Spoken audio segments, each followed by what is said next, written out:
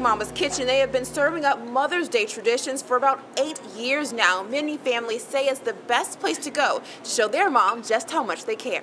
Inside of Big Mama's Kitchen, you will find generations of mamas hard at work. It's amazing to be here with my mom and my grandma every day. Big Mama whipping up some magic in the kitchen with her daughter, while her granddaughters take orders, and even a great grandbaby out on the floor calling the shots. I'm a mom, I'm a grandmother, I'm a great grandmother, I'm a great great grandmother. He is her 29th great grandchild. So it's no wonder Mother's Day is a pretty big deal around here. Women are special. You know, like I said, the hand that rules rocks the, the hand that rocks the cradle rules the world.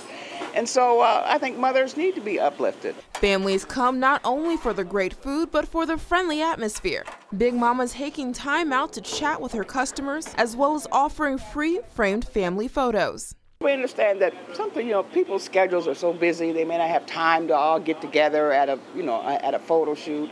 And so we just bring the cameras here. Giving patrons a chance to reflect on just how much their mom means to them. I love her very much. Um, she's like an angel. I was not an easy child in so many ways, but my mother was always there for me. In Omaha, Lauren Scott, KETV News Watch 7.